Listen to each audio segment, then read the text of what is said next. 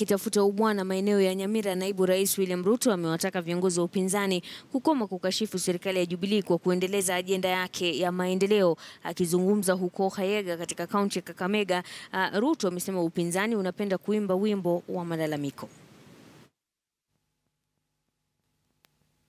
na safari hii mimi siwezi kuwawacha, mimi siwaachi, hamuwezi this time round kuwepa. Hapana,